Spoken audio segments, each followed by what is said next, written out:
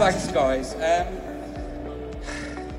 bit unexpected, but you know what? It feels a bit of a con because CEO is just a title, and what I represent and what the group represents is lots of talent and lots of experience in the trade. I work with some, well, with some of my mentors, people that have run taxi companies for 30, 40 years, part of their family, and they're all part of the group. And it's their success that I represent. So, yeah, this is great, but this is for them. Okay? Thank you very much.